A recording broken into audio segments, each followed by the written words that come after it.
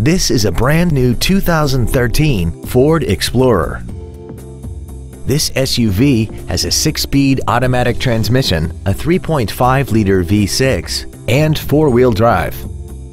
Its top features include third-row seats, a low tire pressure indicator, traction control and stability control systems, 100% commercial-free Sirius satellite radio, and hill descent control.